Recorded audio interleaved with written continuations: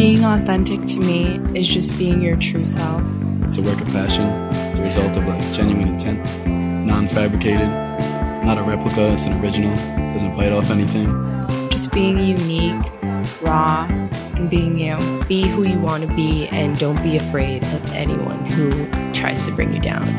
Authentic for him and her, the new fragrance by Abercrombie and Fitch.